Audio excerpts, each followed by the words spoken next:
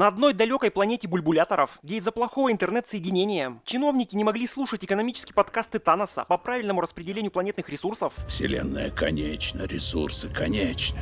Если не ограничивать жизнь, она себя изживет. однажды закончилась вода. Кому нужно ваше золото? Дайте воды. И так как эволюция не предусмотрела вариант, как будут жить живые существа без H2O, бульбуляшки отправились бороздить просторы Вселенной в поисках водички. Но из-за того, что все ученые вместо своей работы занимались дегустацией алкоголя, разжиться водой решили на Земле. И зная, что насчет этого человеки разумные будут сильно возражать, попутно решили провести полный геноцид землянам. А вот занимались бы ученые изучением космоса, а не последствиями долгих запоев, знали бы, что на спутнике Юпитера Европа воды больше, чем на всей Земле, и что куда проще там пробурить колонку, чем идти на вооруженный конфликт с планетой, где проживают Мстители и хрен убиваемая семья Солярыча, которая в космосе чувствует себя лучше, чем на Земле. Тут ты прав. Да и вместе с учеными на игле темного нефильтрованного сидят и все военные. Когда люди им нужны, как бомжу высшее образование, они решили начать классическую войну с применением мотопехоты и авиации, когда куда проще было бы уничтожить военные базы землян ядерными ракетами и спокойно качать воду. Да и план самого вторжения максимально годится лишь для премии кринж года. Притвориться метеоритами, чтобы военные Земли не поняли, что к ним летят инопланетные судебные приставы с требованием выселиться с Земли. Только не подумали, что узнав, что метеориты столкнутся с Землей, военные их уничтожат ядерными ракетами. И сперва нужно было послать на Землю диверсионную группу, которую бы электромагнитными импульсами сожгли на Земле все электроприборы, чтобы их невозможно было обнаружить на подлете к Земле, а уже потом начинать переброску войск. Ну и когда вы стали экспертом в планировании инопланетных вторжений? Вчера. Но, к счастью для бульбуляторов, военные ученые Земли оказались такими же любителями длительных алкогольных диет. Ведь обнаружив сотни тысяч астероидов, которые через день столкнутся с Землей, они не предприняли никаких попыток сбить их или мобилизовать все армии. А всеми телескопами мира не смогли определить, что астероиды — это целиком конструкции геометрической формы, а не камни. Но главное — эвакуацию населения. Теперь нам известно, что метеориты упадут у побережья восьми разных городов. В Южной Калифорнии проводится эвакуация. Население переправляют подальше от береговой линии. провели лишь по телевизору, раз когда гуманоиды бланоиды паркуются в океане, на пляже народу столько, словно тут Рамштайн концерт дает. Но главное, на войну против пришельцев американцы как-то слабо готовятся. Слишком мало тяжелой техники, когда тут нужно привлекать все доступные резервы. А еще лучше огромных боевых мехов из игры Мех Арена. Это крутой шутер, где сходятся в жестком бою 5 дружественных машин против 5 вражеских. Шутер яркий, карты и механизмы действительно изящные и разнообразные. И работает он плавно и хорошо практически на любом девайсе. Исход боя зависит, насколько ты четко и слаженно действуешь в команде. Используешь преимущества текущей карты, рельефа и местности. Но также не нужно забывать и про личные скиллы, тактику и вооружение. У меня вот на одном мехе установлен нехилый такой лазер, который выжигает вражин просто махом. Раз-два и уноси готовенького. Ну а между боями можно заглянуть в ангар и сделать что-нибудь прикольное со своими мехами. Например, перекрасить цвет, очень большой выбор краски, или же полностью поменять скин. О, какой леопардик стал! Вдобавок ко всему, нас ждет множество специальных мероприятий на Хэллоуин, в которых можно принять участие и получить особые скины. Игра Мех Арена совершенно бесплатная на Android и iOS, поэтому переходите по моей ссылке в описании или сканируйте QR-код на экране, устанавливайте игру и вы получите скин Desert Digital, 200 аккоинов и 10 тысяч кредитов, чтобы можно было начать игру. А если вы поторопитесь, то сможете добавить меня в друзья по нику Кинокос, и мы сможем сыграть несколько матчей вместе. Чего же вы ждете? Вперед! И только тут до военных доходит, что огненные камушки с неба сюрпризом. Объекты, о которых идет речь, падают в океан компактными группами в 18 километрах от крупного населенного центра. Это не метеоритный ливень. Была объявлена террор-угроза. Объявлена. Только военных послали не сразу, а спустя несколько часов. Ведь когда пришиков обнаружили 18 километров в океане от суши, даже не знаю, как можно было их не проутюжить бомбами и штурмовиками, когда у пришельцев еще не было авиации, и добирались они до суши вплавь. Но у военных другое мнение на этот счет. Уничтожать их не в воде, а когда они уже захватят полгорода. И так как в городе остались гражданские, которые не хотят бросать нажитое барахло, вояки посылают солдатиков на их эвакуацию. Им уже не помочь. Из первых секунд видно, что большая часть морпехов не доживет и до вечера. Ведь когда бульбуляторы за несколько часов захватили половину крупнейших городов планеты, бараны в погонах отправляют в города группы по несколько человек, без прикрытия бронетехники и авиации. А самое тупое, идут без всякой разведки, когда командование могли спокойно координировать их с беспилотников или спутников. Но военные вместо этого решили распить очередную канистру соляры, из-за чего главная киношная группа вояк проводит первый в своей жизни контакт с инопланетной формой жизни, после которой сразу же несколько вояк встают на очередь за цинковыми гробами. Ну а оружие у бульбуляторов – обычный огнестрел на водяной тяге, не уступающий по мощности земным карабинам. Хотя когда они изобрели технологию межгалактических перелетов, думается, оружие у них должно быть хотя бы примерно такое. Ведь с развитием одних технологий всегда развиваются и другие. А у них ракеты не опаснее фейерверков. Еще и в солдаты, походу, набрали из дворников, которые не могут попасть с 5 метров. Ну а когда American Soldiers спрятались в здании, они вообще на них забили. Хотя могли спокойно обстрелять дом ракетами. Но они решили спить водички после дикого похмелья. И хз, кто писал им военную доктрину, по которой на вражеской территории они могут находиться поодиночке, а не группами. Да и в американскую армию из-за неожиданной войны набрали персонал с ближайшего бугорка, раз идя к предположительной зоне с гражданскими, идут посередине дороги, а не огородными дворами или хотя бы прижавшись к зданию, не отправляют вперед разведку и базарят в полный голос для наименьшей заметности, благодаря чему снова палятся перед колонизаторами. Но американцев от переброски в могилу спасает тотальный долбоебизм бульбуляторов, благодаря которому они не стали атаковать амеров, когда те укрылись в здании и укрепились, а далее вообще ушли на обеденный перерыв, раз позволили воссоединиться с ними другой группе военных. И видать дела у земли совсем плохо, раз военные позвали на помощь подругу Солярыча, сам же который остался попивать пивко с братом, ведь посчитал, что одной лети будет достаточно, чтобы остановить инопланетное вторжение.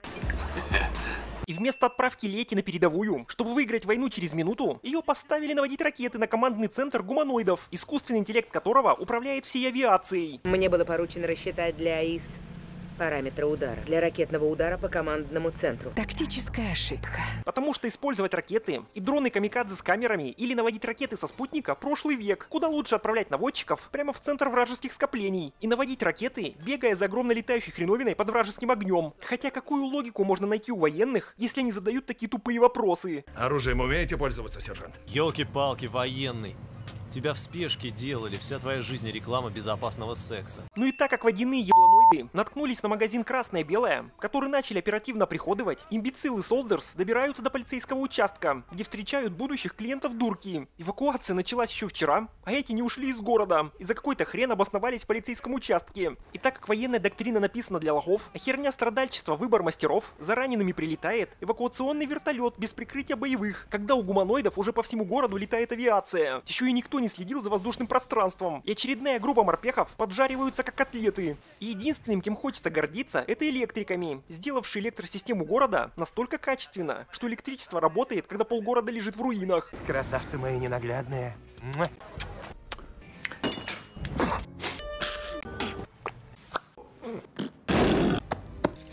Хочешь молока? Дай молочка.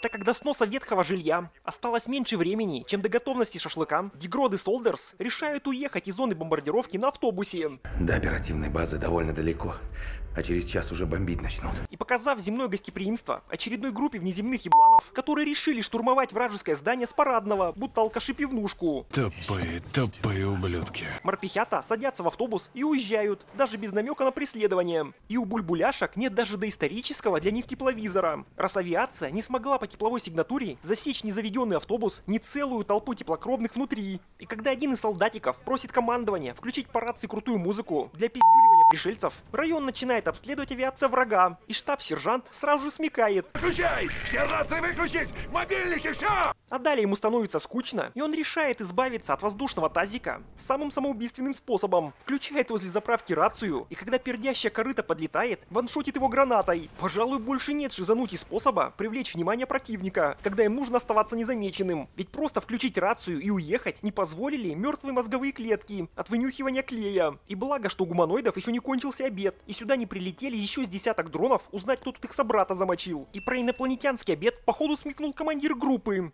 решил ехать в безопасную зону не по закоулкам, а прямо по шоссе, чтобы их заметили с воздуха. Вот такие они тупые. А далее все лениводы вообще забыли, что идет война, и уснули. Ведь когда с километра должны были услышать, что впереди идет бой, заметили его лишь тогда, когда бульбуляторы открыли по ним огонь. И видя, как одинокий танчик ведет неравный бой, Танк отвлекает огонь противника! Сходу сможет! Смогу, командир! даже не обеспечили ему поддержку, чтобы водососы его не уничтожили, а решили валить, да детишкам шнурки позавязывать. Показывать, даже не пытаясь давить врага огнем на подавление, благодаря чему инопланетная залупня выносит танк с катки. А далее вояки решили отправиться на посмертную пенсию следом за экипажем танка, ведь спустили с эстакады только одну веревку и начали спускать по ней каждого ребенка по отдельности, когда должны были зацепить их на свои шеи и по-бырому спускаться. Ну а гуманоиды начинают проводить парад демонстрации уродской техники. Собрали из консервных банок ракетницу на ходулях, которую управляет оператор, когда вся авиация у них работает под управлением искусственного интеллекта. И мало того, что пушка имеет разброс в 15 метров, так еще и перезаряжается за время, за которое можно построить свою самогонную фабрику. Один из вояк так рассмеялся от этого шайтан-уродца, что даже не успел спрыгнуть с автобуса, когда в него полетел тротиловый подарочек. А далее парнокопытные земли решают устроить конкурс на самое креативное самоубийство. Друг человека-муравья решает узнать на себе всю палитру боли огнестрельного ранения и встает прямо на линию огня гуманоидов, а штаб-сержант с пацанчиком из вторых трансформеров решают заминировать тачки, чтобы устроить негарантийный случай шагающей ракетницы, забыв, что она может стрелять ракетами. И почувствовав победу, командир придумывает самый крутой способ, чтобы покончить с собой, взорвать себя вместе с шагоходкой и призвав ее к себе по рации, выпиливается из сюжета. И вся тупость этой сцены в том, что практически у каждого военного в наличии подствольные гранатометы, из которых эти долбоящеры даже не попытались раздолбать шагоходку. И также никто не догадался просто закидать ее гранатами.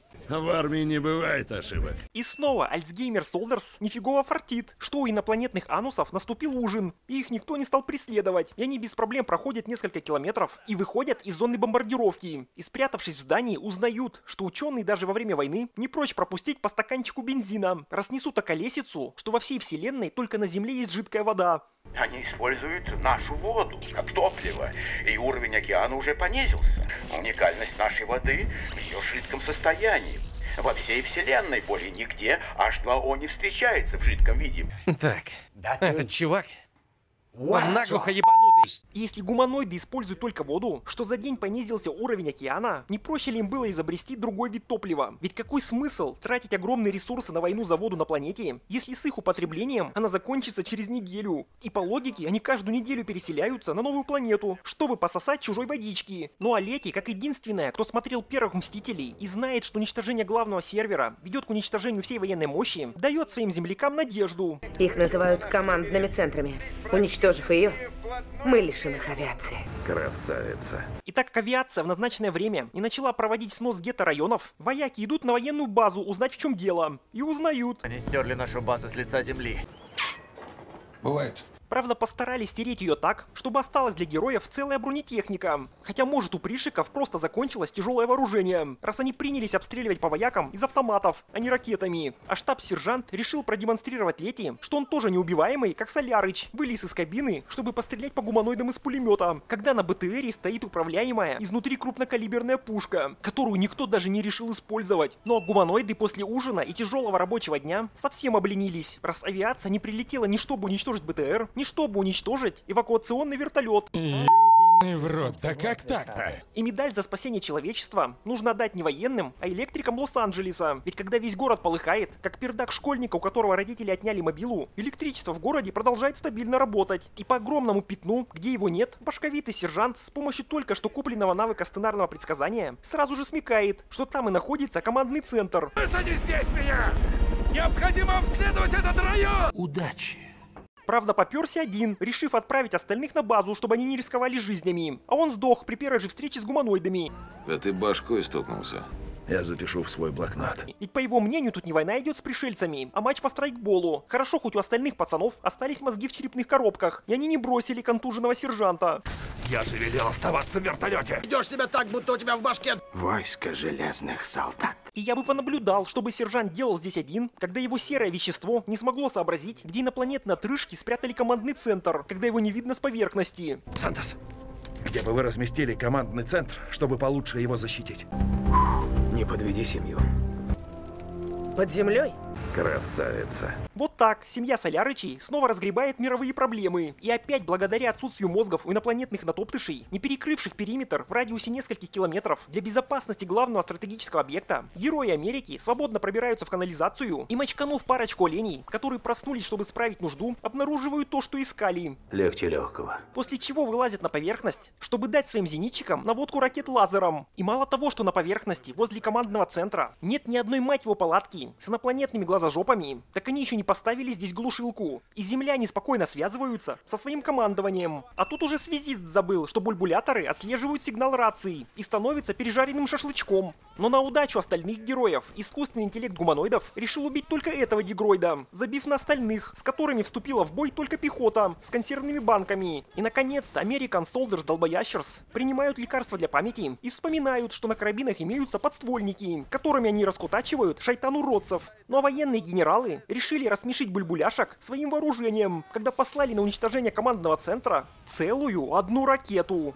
Это все, на что вы способны. Все, что правительство Соединенных Штатов может нам предложить. А в наши дни это уже немало. Ну и чего же не побеждать в войне с инопланетными армиями, если их интеллект меньше, чем радиус пыли? Когда по командному пункту пошел удар ракетами, инопланетные креветки подняли его в воздух, чтобы вероятность его уничтожения увеличилась на 500%. И очень вовремя искусственный интеллект, управляющий беспилотниками, ушел в ребут. Ведь если сначала авиация защищала командный центр от ракет, то сейчас перестала это делать, благодаря чему инопланетная вышка G5 уничтожается, и вся авиация уходит в сон. Ведь при планировании войны гуманоиды и бланоиды не выделили дополнительный сервер для управления беспилотниками, потому что не просчитали вариант, что основной может быть уничтожен. Или когда возле центра обнаружились вражеские войска, никто из пришиков не додумался прислать сюда целую эскадрилью дронов, чтобы каждый сантиметр выжить огнем. Вы откуда все прилетели? Но после проведенных суток вместе, подруга Солярыча заражает всех вояк таретовским вирусом неубиваемости, что позволяет солдатикам бесстрашно пойти в лобовую атаку на тех, кто еще пять минут назад давил их числом и не давал высунуться.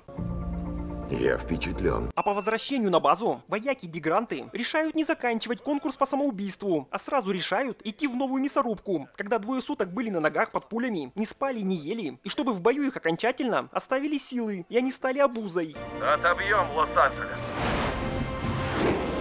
Удачи! Очень интересно, где сценарист увидел здесь счастливый финал, если земляне лишь уничтожили один командный пункт противника. И гуманоидам ничего не мешает отправить в Лос-Анджелес еще несколько серверов с новой воздушной армией. А на командных пунктах в других городах настолько увеличить защиту, чтобы глиста не пролезла. Хотя когда здесь рвет свой анус Лети, стоит ожидать приезда ее стольного дружка, который лишь своим суровым взглядом заставит обделаться всех пришельцев. А далее замастырит космический додж, полетит на планету бульбуляторов, мстить за то, что они чуть не убили его подругу. Но самое важное – это семья. Форсаж 35. Торетто уничтожает бульбуляторов, чтобы семья была в безопасности. Вот именно. Voyage, voyage